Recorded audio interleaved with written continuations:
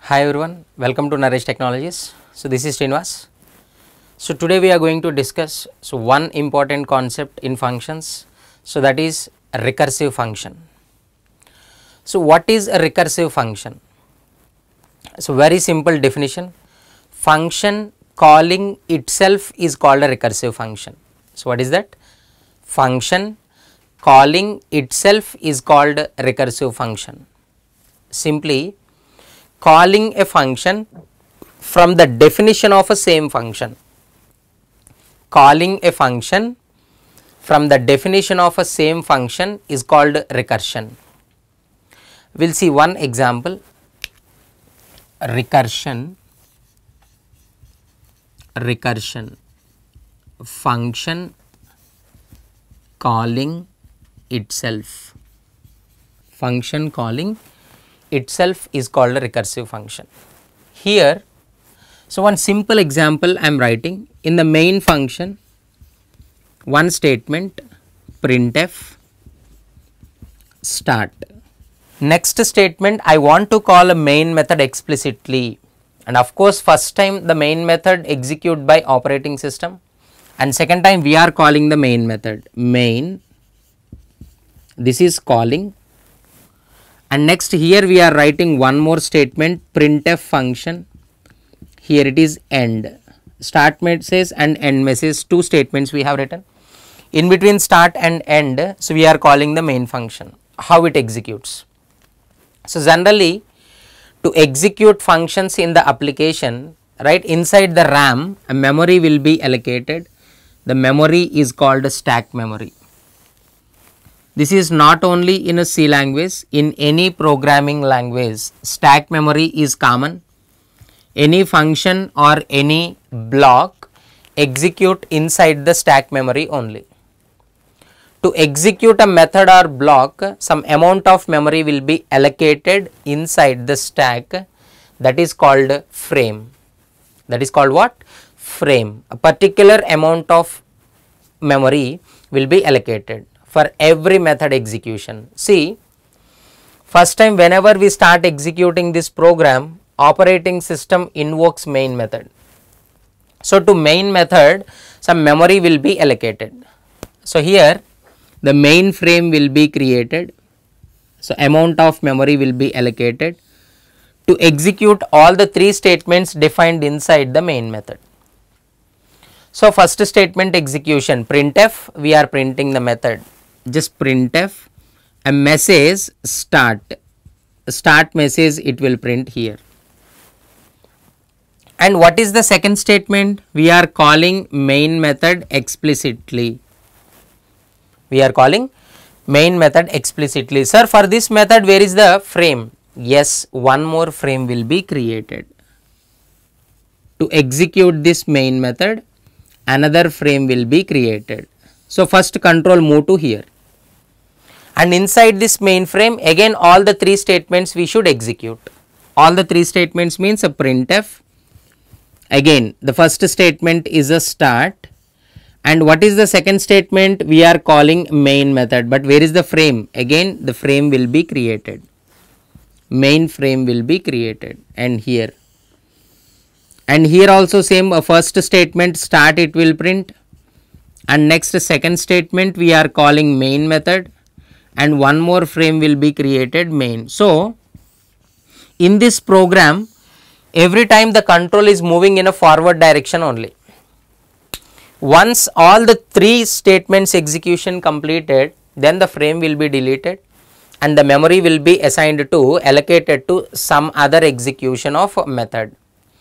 But here every time the control is moving in a forward direction only. For the control there is no chance to come back and complete the execution of a previous frame. So, it will go like that somewhere that memory will be full. Here it is giving one error. Runtime error it will give. Runtime error. Out of memory your program will terminate abnormally. So, because sufficient memory is not there right sufficient memory is not there in a stack to continue the execution of your program. So, that is a problem. So, while working with the recursive functions, so we should bit care right while writing the logic because in which order the control is going in a forward direction in the same order the control should come back and where it starts the execution there only it should complete the execution in that format only we should write the programs so for that so one best example i'll explain in a recursive function that is factorial of a given number using a recursive function. How? See. So one example so factorial of a given number. First program I will write and then so I will execute with the help of method spaces. So first the program. Main. In the main method I am declaring one variable n and we are asking printf enter n value and we are reading scanf percentage d into address of n. We are calling fact method and we are passing n Fact is a method which is used to find the factorial of a given number, fact of n. So, we need to write the body for that fact method. Fact, we are passing n, n is of type what? Integer. So, here we are collecting into same variable or different variable that is your interest. Right here it is we are collecting into n only and next here it is one variable we are declaring res result suppose consider if n value equals to 0. So, what is the factorial of a 0? It is a 1. So, result is a 1. Result equals to 1. 1 will be assigned to result.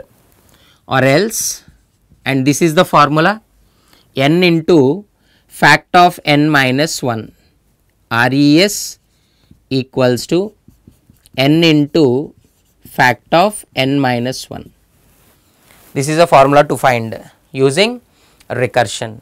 And finally after execution of if else it will return the result return the result. Only one statement is belongs to if block or only one statement is belongs to else block means no need to write in a braces. That's why. If you are confusing just you can write simply this one. Open brace and close brace. Right? And of course for a single statement that is not required. Because the compiler directly consider the statement which is followed by if block and the statement which is followed by else block is considered as a if and else block statements. Only one statement which is followed by the block. And it is returning the result. Result is of type what? Integer type. So return type is a integer. And whatever the value will return so that will be collected into variable. Same variable we are taking no problem. Res and we are printing printf. Here it is the result. Percentage d and here it is res we are printing. So this is finding the factorial of a given number using recursion. Sir where is the recursive calling? Simple. Fact method we are calling from the definition of a same function. Fact. Fact function calling from same. Same location okay how it executes how sir method spaces will be created how the control will go in a forward direction and the control how it will come back. See here so first memory will be allocated to mainframe. Starting frame mainframe. We are declaring the n value n value and one more variable result and we are reading n and next step it is calling a fact method. And what we are passing? Suppose n value we are taking 4 fact of 4 the result will not be assigned. First fact of 4 method should complete. So method space will be allocated to fact of n value 4 then the fact method execution. Fact method execution. So, how that fact method executes observe. First, if n is equals to 0, if n value 4 equals to 0 condition false. So, if block will not execute else block executes in the else block n into fact of n minus 1 executes right side data n value is 4 into fact of n minus 1 that is 3. But to multiply to perform this multiply operation first we should know what is the value of fact of 3 so first we should find out the fact of 3 again fact n equals to 3 and this is the method space. Fact of 3 method space. Here if 3 equals to 0 condition false. If block will not execute else block. And here it is 3 into fact of n minus 1 that is 2 again we should find what is the value of a fact of 2 here it is. This is fact of 2 fact of 2 method space. Same story. If 2 equals to 0 condition false if block will not execute in the else block 2 into fact of 1 and here it is fact of 1 method space will be created. If 1 equals to 0 again condition false. If block will not execute. In the else block 1 into fact of 0 it is a last method space in this execution. Fact of 0 fact of 0 now observe. If 0 equals to 0 yes if condition is a true now else block will not execute in all the previous method spaces if block is terminating and else block is executing. But now if block will execute and else block will terminate. What is the if block statement we have written? Just we are assigning 1 equals to result. So result equals to 1 into the result 1 will be stored. After if else what is the last statement? We are returning the result. Yes return. It will return the result is called 1. 1 will return back to here. Sir, why? Because a fact of 0 function executing from here only. So, result of this fact of 0 function it will return back to the same place. So, 1 into 1. So, the value will be stored into result and here it is the last statement execute it is also returning 1 because 1 is multiplied with 1 result is a 1 and it will return back to here. Now it is multiplied with 2 that will be stored into result. It is returning that result. What is that return value? 2. So to where? To return here. To here. And again here it is a 3 is multiplied with a 2. 6 will be stored into result. It is returning that result. 6. And 6 it will return back to here. 4 is multiplied with a 6 that will be stored into result and it is returning that result. 24 that will be finally stored into main method result variable.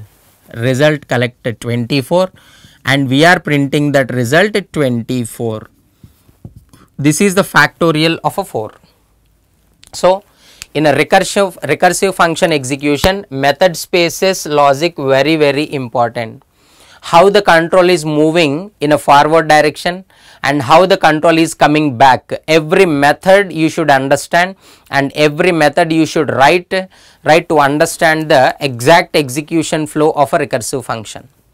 Okay. So, this is completely about uh, how recursive function executes in a C language. So, not only in a C language, recursive function means the function calling itself is called a recursive function and this is how the execution flow will be. The best example of recursive functions is a factorial of a given number. And so many examples are there. Right? All these examples you can try. Or for more examples right just log into the Naresh IT channel. Okay? We will see more videos right in the coming sessions. Thank you. Thank you all